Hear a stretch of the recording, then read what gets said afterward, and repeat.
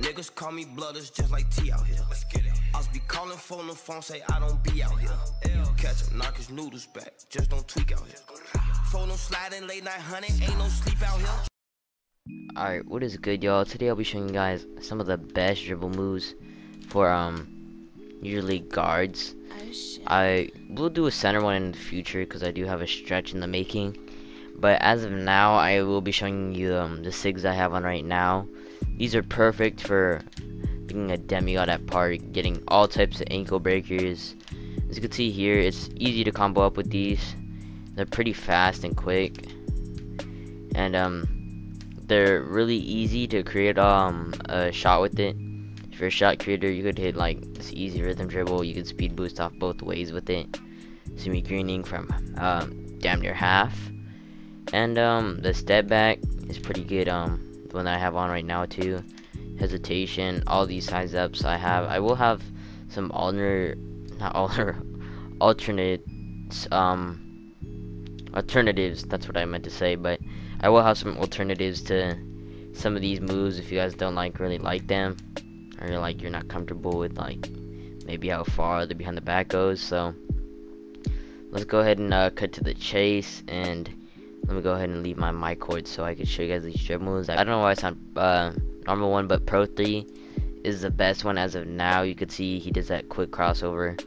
I think um I've been using the same one for a while. This one will get you the the animations of the court, the moving crossovers. You can see the behind the back. I either go Pro 3 or Pro 6. Pro 6 is more of like the 17 move everybody used to be on, but Pro 3 is probably better best for rim running, getting open for a shot. Pro 6, it's probably better for getting like for a shooter, I would say, like cuz you want to get into that step back animation, it gets you like a lot of space or if you don't want to like get ripped so easily, you won't lose the ball as much with that one. Spin, there's really no other spin that you could do that's bad. It's the escape spin that most um, guards use today. Nobody uses any different one because there's really no other better one hesitations, I go with Pro 5. It'll show you the step back right there. He bounces pretty far with that, so that's going to get you a shot. Pretty much every time is a play shot, play shot, whatever you are on right now. And most of these are elite, so if you're not um a playmaking build, this video is probably not for you. And um, I have elite 18 right now, so the best rhythm dribbles I would say are Elite 18 right here. You could speed boost off the first two behind the backs. And then the rest, um, you could probably use that to go into your combo. These are alright right here, but the best ones are gonna go um, to Elite 18 and um, Pro 6. Alright, for moving size up, it doesn't really matter for these, but this is probably the best one, which is Pro 7. He does this little crossover. Not too much explaining to talk about there park size up. He actually does like a normal size up here. Nothing crazy besides that pullback. Um, packages for size ups. So, um, Pro 3, simple, best one. You get really fast um, dribble animations. You get that little escape right there. You could do a glitch out of that. I'm not sure if it's still in the game, but it's been in since the beginning. Um, if it's still not patched. And um, double hesitations um, is Kemba Walker. Um, this and the Kobe under the legs. And Chris Paul, that's probably just good for breaking ankles. If you want to do the combo, I said um, Ty Lawson. So, between the legs is Trae Young, which is a new one this year.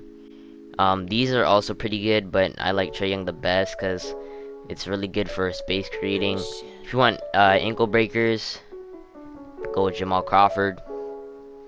Brandon Jennings, if you want to be able to combo pretty good or like straightforward speed boosting moves like this one right there you could boost to the right after. And um he's he does other ones like that which are pretty quick. So yeah Jamal Crawford's pretty slow but that's pretty much just for um ankle breakers. And Trae Young straightforward. Look at all the space he creates with the first move. It's probably good if you're a play sharp and um, the last one I would say that matters is a double behind the back which is going to be Stephen Curry or Jamal Crawford. The other ones are pretty basic. They just do something like the normal one one. So basically, these are the only two that like have any difference. Jamal Crawford, ankle breakers like usual. Stephen Curry, you would expect that to create a lot of space. Alright guys, thanks for watching. I hope you guys enjoyed and I hope this helped in some way. Thanks for watching. Leave a like and subscribe. It's free. Put my mind to this shit. Goddamn. Cancel out my ex, I put a line through that bitch. I like all my asses with two lines.